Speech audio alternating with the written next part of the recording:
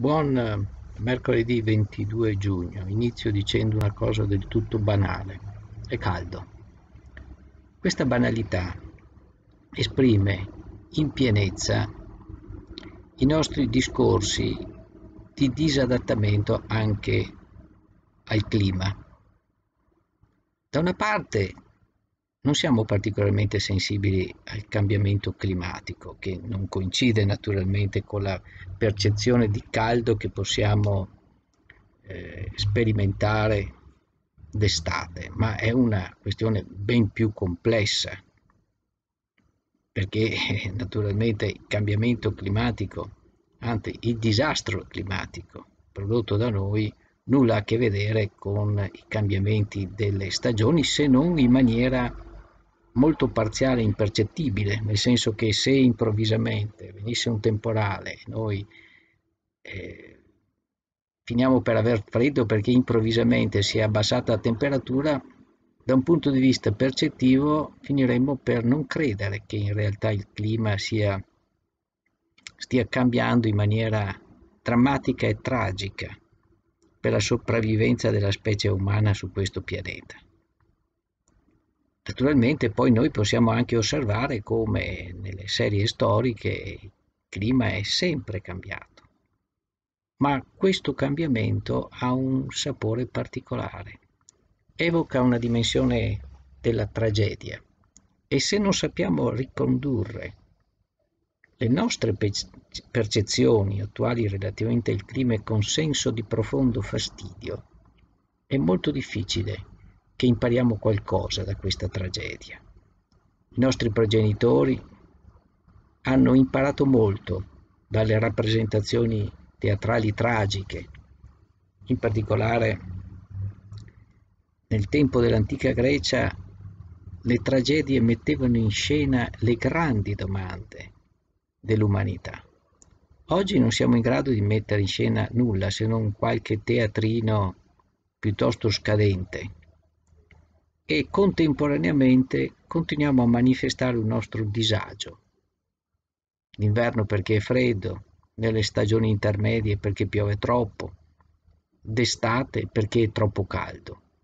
E corriamo ai ripari predisponendo mezzi che a loro volta influiscono negativamente sull'equilibrio ecologico del nostro pianeta. Gli impianti di condizionamento dell'aria vanno a manetta. Vogliamo avere freddo quando è caldo.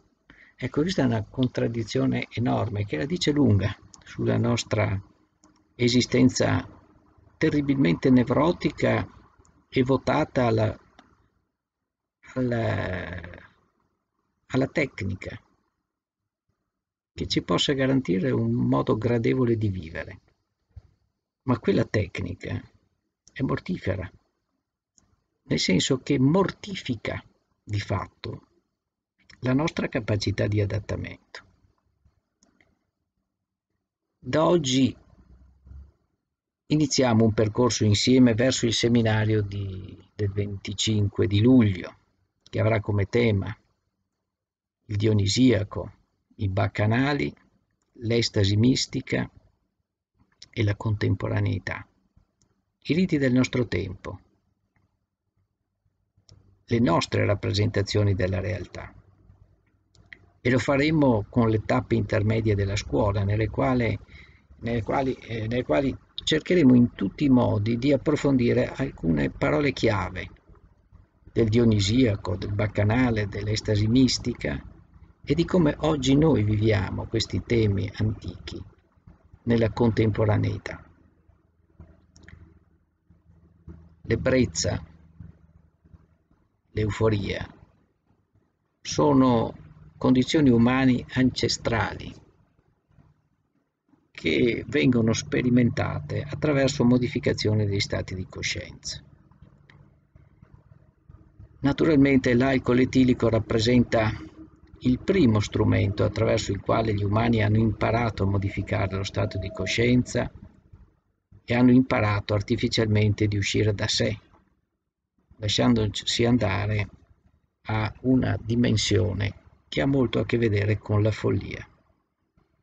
Pertanto, il seminario del 25 luglio sarà l'occasione per andare alle origini del senso stesso dei club, che il professor Udolin inventò sostanzialmente. Nel 1964, sia per dare corpo a un processo di destigmatizzazione degli alcolisti, di elevare la qualità media della psichiatria, di concretizzare proposte comunitarie attraverso le quali si potesse affrontare il disagio esistenziale esistente come incapacità di accettare se stessi e le condizioni date in un modo nuovo, relazionale, tenendo conto di tutti gli elementi emozionali, sentimentali e anche misteriosi che albergano nell'animo umano. In fondo parlare del Dionisiaco e del Bacanale ci riporta ai riti dello spritz contemporaneo, ma ci riporta anche alle intossicazioni etiliche da osteria, alle feste degli alpini che sono dei bacanali collettivi, dove ci si ubriaca alla grande. E questo lo affrontiamo senza alcun giudizio morale, senza tirar fuori nuove forme di etichettamento, ma con uno spirito di comprensione a partire dall'esperienza delle persone che vivono nel club, ritornando ai primordi, a quegli stati di intossicazione dai, dai quali Udolin parte.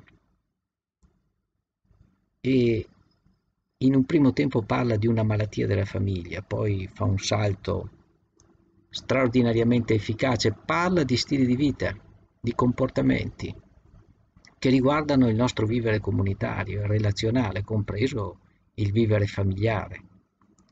Ci invita non semplicemente all'astinenza, ma alla sobrietà, che è ben altra cosa, che non elude la questione della ricerca del godimento e del piacere e anche della necessità di stemperare il dolore che accade inevitabilmente nel corso dell'esistenza di ciascuno. Lenire il dolore, vivere il piacere, sono le caratteristiche umane specifiche che caratterizzano la qualità della vita stessa. Non sono certo i consumi, l'accumulazione di beni materiali che fanno la differenza sostanziale rispetto alla salute mentale, perché se la ricchezza fosse garante dell'equilibrio mentale, ricchi matti non potrebbero esistere. In realtà ci sono molte persone molto abbienti i quali soffrono di stati depressivi, di alterazione del tono dell'umore, di necessità artificiosa di ricorrere all'uso di sostanze psicoattive per superare la noia dorata della loro esistenza. Ma neppure le ingegnerie sociali, che magari erano nate da uno scopo benevolo, quello di una maggiore uguaglianza tra i cittadini, immaginando scenari di condivisione del bene comune o di ammortizzatori sociali che facessero sì che le persone fossero più sicure nell'ambiente.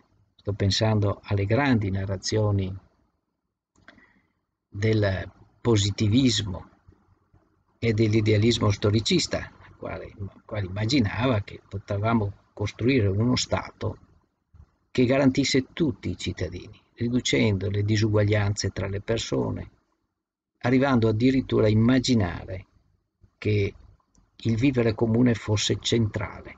Questo avrebbe, secondo questa prospettiva, garantito l'equilibrio mentale, ma la sofferenza psichica non si è fatta mancare neppure in quelle forme di organizzazione dello Stato che si vantavano ed erano guardate con ammirazione da un idealismo di sinistra ma un po' troppo meccanicista che non guardava alla dimensione autentica della vita, che è un intreccio inscindibile tra dimensione materiale e dimensione spirituale. Nell'insieme costituiscono un tutt'uno che contiene in sé anche l'insoddisfazione del vivere, e contiene in sé anche la ricerca di modificazione degli stati di coscienza che porta al rito dionisiaco, ai bacanali, alle estasi mistiche o alle forme di godimento della contemporaneità. Quindi non si tratta di un seminario astratto e teorico, ma è un seminario al quale mi piacerebbe che partecipassero tutti i membri del club narrando la loro esperienza di ebbrezza e di tristezza, di noia e di esuberante presenza prometeica nella vita. Quante volte abbiamo assistito cerimonie, matrimoni nei quali l'alcolemia crescente coincide con una euforia crescente che a volte si trasforma semplicemente nell'elevare il volume della voce, ma qualche volta tira fuori anche una aggressività remota. Non frequentemente, ma neppure raramente. In certe cerimonie di nozze accadono anche degli alterchi tra i partecipanti, che rovinano la festa ovviamente, ma sono espressione di quella alcolemia. Quindi ritornare agli alcolisti in trattamento, a quei club, a quelle comunità che poi progressivamente si sono evolute e che oggi noi interpretiamo come club di ecologia sociale antropospirituale, ritornare a quelle origini non è un tornare indietro, ma perseverare in un percorso che non avrà mai fine perché gli esseri umani, i viventi dotati di un minimo di coscienza, anche gli elefanti si intossicano, anche gli elefanti si danno ai bacanali quando vanno a mangiare un frutto che fermenta, che cade da un albero, che loro con colpi decisi fanno cadere. E quel frutto che contiene alcol etilico contiene anche un allucinogeno. E gli elefanti ritualmente ogni tanto si danno all'ebbrezza e alla modificazione dello stato di coscienza, poi creando devastazione nella savana. È un fenomeno che avviene in natura, ma che avviene poi anche nella nostra cultura umana e che noi siamo chiamati a prendere in considerazione, perché questa tendenza è ancestrale, è vecchia, ci appartiene, è nel nostro codice genetico-culturale. Questo modo di vivere che non è qualcosa ascrivibile soltanto a quelli che vengono impropriamente definiti alcolisti o tossicomani. È qualcosa che riguarda tutti, da sempre. È un grande mistero che va esplorato se vogliamo autenticamente introdurci nella dimensione della sobrietà, tenendo presente che non avverrà mai la possibilità di porre fine a questa seduzione e attrazione nei confronti dell'ebbrezza. Quella resterà, non è una patologia, è un fisiologico rapporto con la nostra cultura e con la natura. Ma questo non ci giustifica, perché poi noi a questo dovremmo in qualche modo introdurre la dimensione etica dell'esistenza la dimensione che è capace di dare un senso alla vita stessa senza lasciarla declinare in una depressione esistenziale che non è più capace di godere, di vivere intensamente il piacere e di lenire il dolore attraverso la relazione.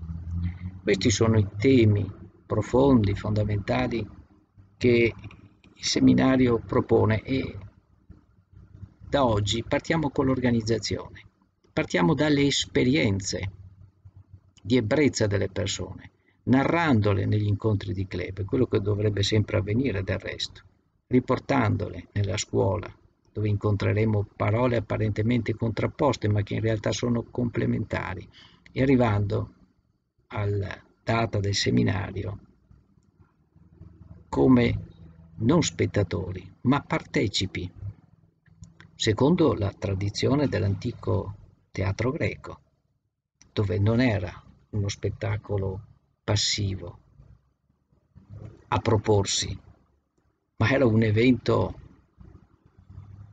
estremamente partecipato,